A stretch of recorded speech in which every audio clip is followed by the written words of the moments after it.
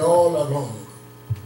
So, the theme is God's providence through His sovereignty Yes. shall sustain us. Amen. Amen. God's providence through His sovereignty shall sustain us. Amen. Amen. But these are big words. Providence, sovereignty, sustain. So we try to do a little breakdown. Sovereignty. These are terms. I said the status. A status. It's a height. Dominion. Status. Sovereignty. Power. Authority. Independence. Prerogative. Independent. Who else can be independent but God? Nobody tells him what to do, when to do it, where to do it, how to do it. That's where we get our problems. He's unmade, unformed,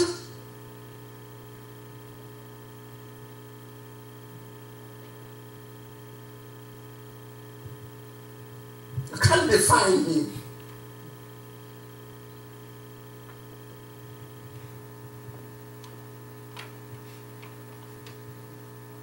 That's why we have to come like Pastor Henry was sharing with us on Wednesday. By faith. Because we are in this body here,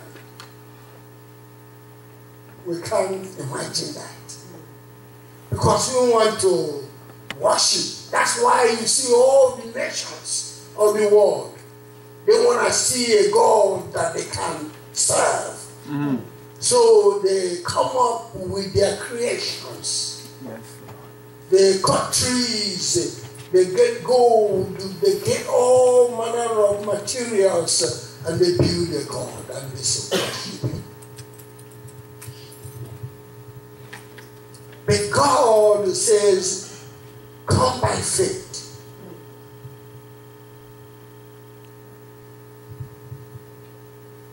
And to deal with Him, we have to deal with Him in terms of faith. As like I said, we are the human, that's our problem. Because we want to see it. That's why even when Moses came down with the law, they started making idol. They want something they can see. I have my little grandchild. I will go, he said, oh, Grandpa, let me, I will go all the way down maybe to McDonald's and get something. I bring it to him and open it. First of all, he gives me. And then he said, don't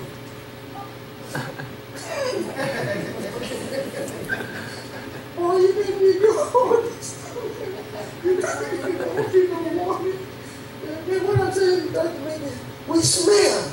If we can't smell God, we don't want you know? So the Egyptians are there, they come here, they put so much aroma on their God, you know? so in this uh, scenario, we see the providence of God. What we talking about when we say the providence? We say the foreseeing care and guidance of God over the creatures of the earth. before seeing to foresee.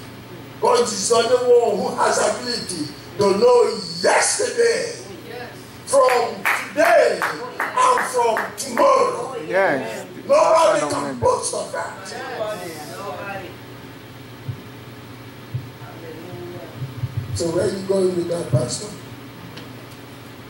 Especially God exercising care and guidance in directing human affairs. God wants to direct our affairs. Amen. Amen. Everything concerning us. Where we live, where we go to church, where we go to school, where we go to our restaurant. It's not going to lead you into a bar, a restaurant with a bar in it, because that would be tempting. no?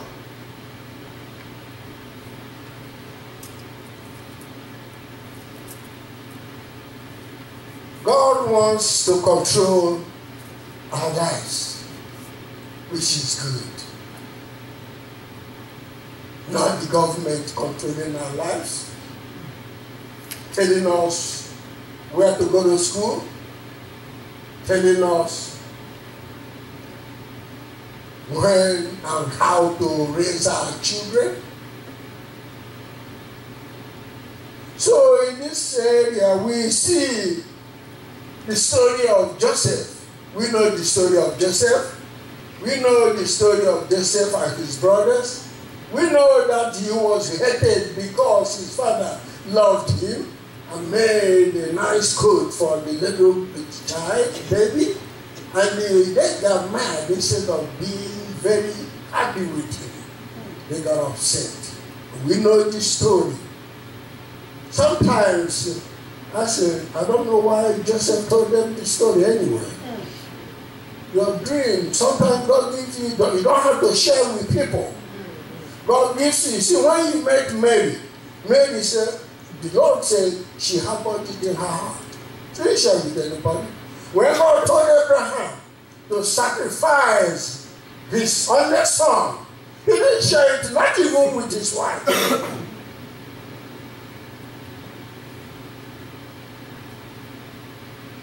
Why? Without woman hearing that, there's no way. You're going to have to kill her before you kill that boy. And that will hamper the man's faith. that will divert. Thank you, my sister. Well, Pastor did all the four D's. Discourage diversion. That's what Satan does. So you better be careful when he gives you idea. Sometimes somebody will run before you and take that idea and produce something and be making millions. Yes. You might change it, put a little thing here and there, confuse you not to know that that was the idea. That's why you have to be very careful. So we see here, we go to Genesis 39, verse 1 and 2. We see now, we see where Joseph is sold into slavery by his brothers, the Ishmaelites. Who are the Ishmaelites? These are uh, his brother, eh? Ishmael. See? See? They are not different. Everybody going to Ishmael when Abraham leaves him and his mother, they went their way. So look at that. They come back here. Now Satan is still attacking. They come here now, they go buy Joseph. Yeah, they go buy Joseph. So they bought Joseph. You see the, the sequence of things. Then they sold Joseph to Potiphar. Who is Potiphar? You know that Potiphar is a nobleman. He's a captain of Pharaoh's section of his uh, government, in administration. He commands authority. Now from Potiphar, we know all the sequence. how the young man enters and is thrown into prison. The prison, instead of uh, languishing, oh, why me, Lord, why did you? I thought you told me I would be great. I will get me a drink. Is this where you begin to murmur and that's it. That's it. And when we go that route, our faith is being hampered. And from prison, we see that the scripture says that Joseph was blessed by the Lord, and his master saw it. Hmm. When his master saw it, you see the sequence of things. Now he makes the overseer. You know? So we have to be careful wherever we are, we have to perform. We have to perform. We don't do eye service. We have to fear God in every capacity we are put, whether it's great or small. Whether you are sweeping uh, this place, cleaning the bathrooms.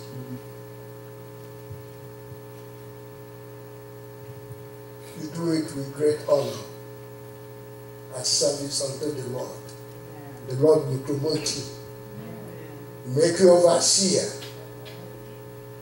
The, the scripture says that Joseph interpreted two dreams uh, over there. One, he rescued uh, uh, Potiphar's uh, baker. Then uh, the other one, who is the butler, the, the, the, the, the, the baker was, you know, was beheaded. The butler is the one that is, got back his job. Even in the prison, Joseph was given to be in charge of certain prisoners while he was still in the dungeon. So, from that sequence of interpreting the dreams of these workers of Potiphar, now the king, Pharaoh, has a dream and he's an interpreter. So the sequence of things. Sequence of things. Now, there's opportunity here now for God to shine again. Now, God will help them bring in Joseph to interpret Pharaoh's dream. Pharaoh was very moved by the interpretation that Joseph gave him. And so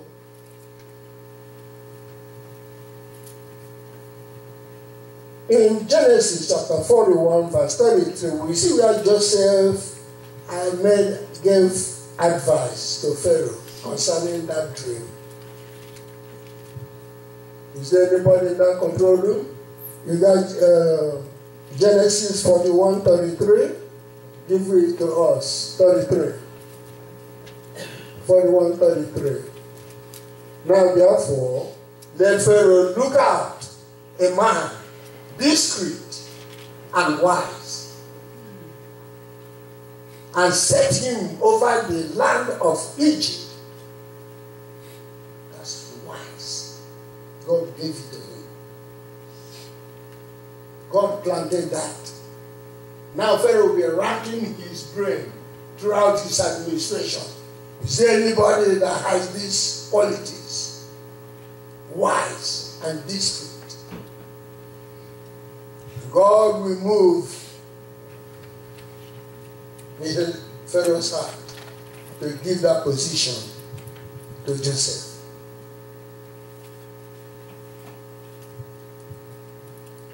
It hasn't changed.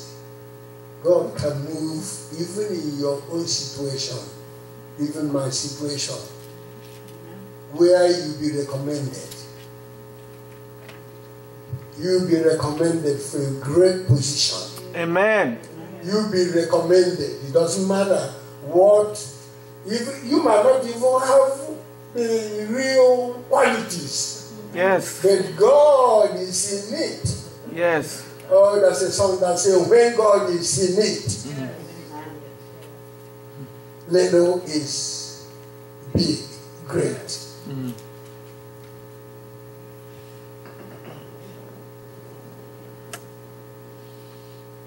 So we see from here now we're going to we going to be Joseph is made ruler over Egypt. Now we see there will be another need. There will be a, a great need because there will be famine. We say we understand, and the Israelites now they'll be moving to go to Egypt. And they were there in Egypt and they multiplied. The Bible says that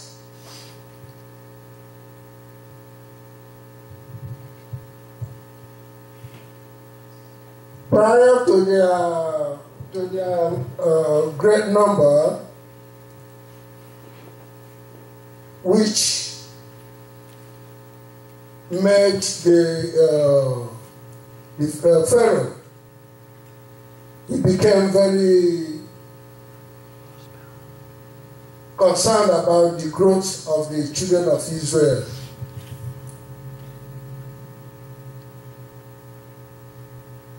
So we see God now is going to plan for a redemption. We see the great redemption from Egypt. Then we see that the descendants of Jacob, as a theocratic nation, God is now going to form them as a nation. He is, that has always been the, the, the, his end, where he's going. Now, from the promise to Abraham, he's going down. It has not, it has not materialized yet. It's still going to be a nation that God has promised Abraham.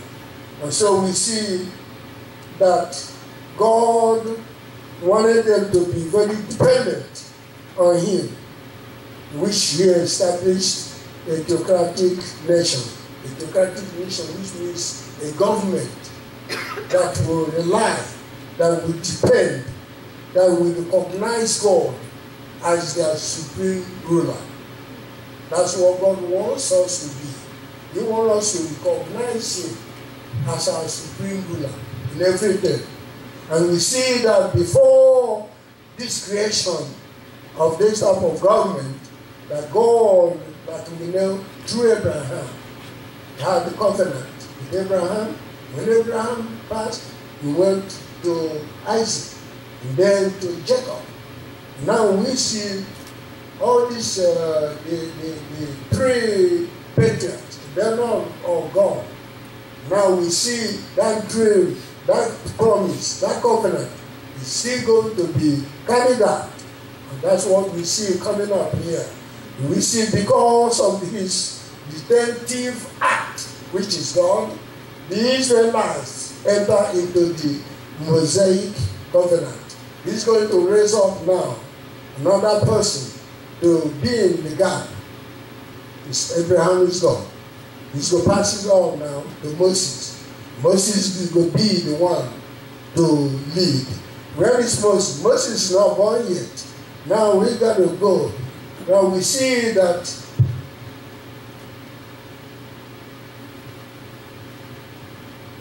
there is always a cause for God to act. We understand that now the Israelites have grown very big, over 3 million in population, and uh, spent, uh, like we say, over it's 430 years in Goshen. That's the providence of Egypt where they dwelt. So the people have uh, become very uneasy. And so you got a Pharaoh, Pharaoh, uh, Pharaoh that did not remember all the promises that were made to Joseph. And so he started to enslave the people. The people were enslaved. And we see out of that enslavement, the Bible says that the people of Israel cried unto God. Their backs were being lashed, as they carried bricks, as they hauled and built pyramids, everything that they did. The Bible says in uh, Exodus chapter 3, verse 9, it says that the cry of the Israelites is come unto me. And I have also seen the oppression the Egyptians oppressed them with. Your cry, which you've been crying, many of us have cried longer than others. Don't give up. Don't give up. Don't give up because God hears Amen. Your oppression, whether it's in your house, look at your look at domestic oppression. You've been enduring it. Maybe a man, maybe the woman, maybe the children. The oppression in the house. Maybe the oppression at work, where you work. You've been oppressed. You go left, the oppress you. You go le- right, the oppress you. You say, God, where are you? Mm. He's telling you that He sees it. He sees it. God sees it. God sees it And He will come at the right time. at time. the right time. And He Amen. will send a Redeemer. Amen. And so God will raise up Moses. And we know all the story about Moses. All the difficulties of raising up a child and bringing up. We know it was God's providence that He hid Moses for three months in the house. Even his neighbors who are Jews could have reported, oh, their own son is still alive. Oh, yeah. But God made a provision. He put him in the water, the basket. That was a watertight basket. Was, uh, you know, it was well woven with papyrus and all that. But the crocodiles didn't go to the banks to devour him. Then he cried at the right time when the best of the best women was around. Mm. Bible said that legends story say that Pharaoh's daughter did not have a child. So God connected her with Joseph. She adopted Joseph in the royal palace. That's the big story. Then from there, we know that just uh, Moses, you know, he grew up. Not, after about 40 years old, he did not identify with all the lavishness of the palace. He rather acquainted himself with his people, the Jews. Who do you acquaint yourself with? Mm. Where do you gravitate to? Mm. Young people, who do you gravitate to? Who do you acquaint with? Do you like to go where the elder people are gathered? Do you like to go with where there are Christians, or do you want to go where the, the, the, the, the, the lifestyle is so much that your parents wouldn't even approve it? Hmm. Is that what you want to do? What you want to acquaint yourself with? Those that uh, want to dress like women? Or girls that want to dress like boys? What you want to do? What you want to acquaint yourself with? What you want to gravitate yourself with?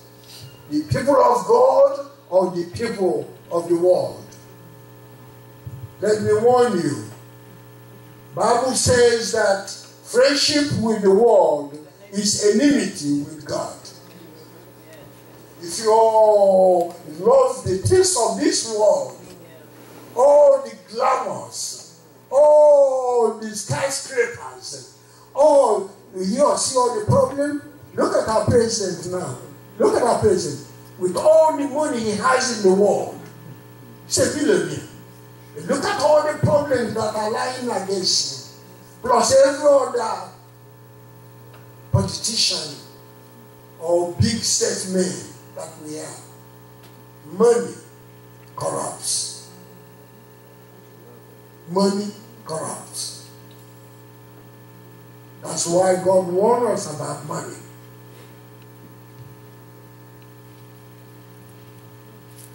You don't love it. It's time to think. No, like I said, whom do we align with?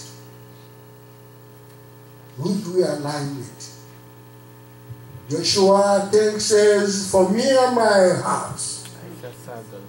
for me and my house, Me and my house. we shall serve the Lord. I've tried to raise my children. They're now on their own. I know you have tried to raise your children. Some of them have gone away. Can only give them advice if you can see them. Some of them will abandon you completely. Oh yeah.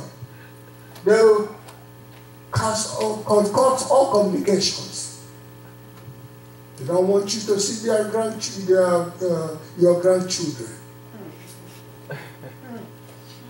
Oh, yeah.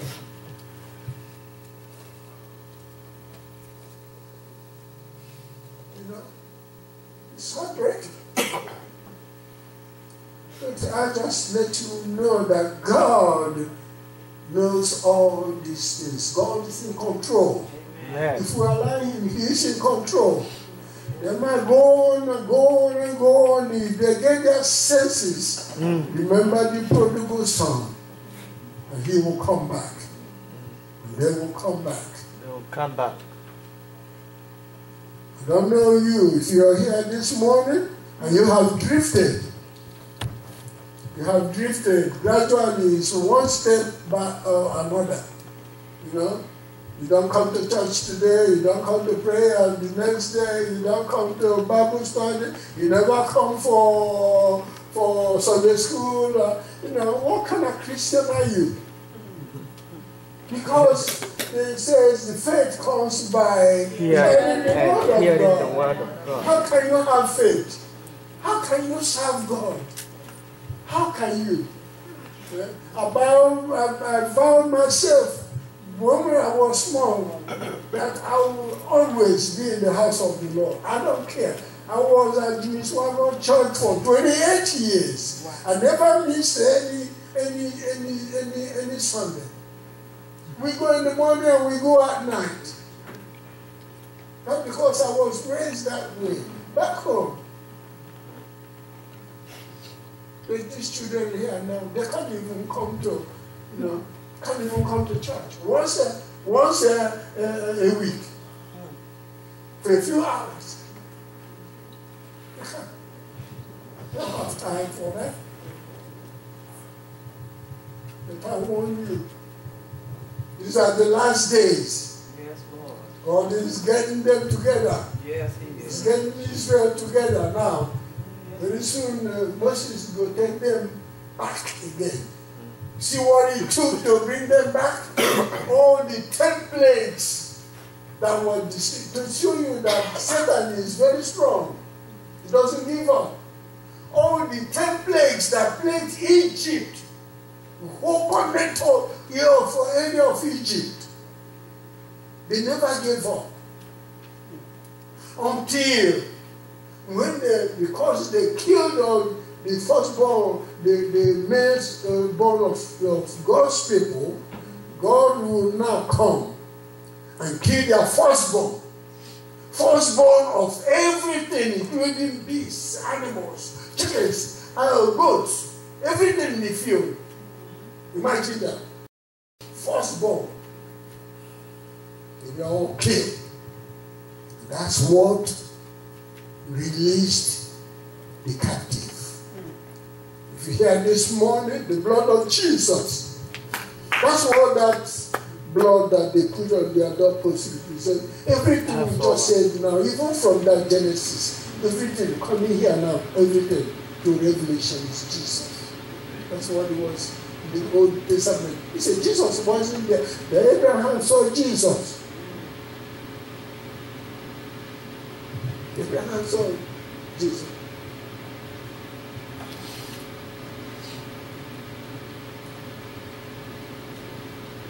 So what I'm telling you this morning is it's time to, you know, make our choices and come back because this is the 11th hour. Shall we stand?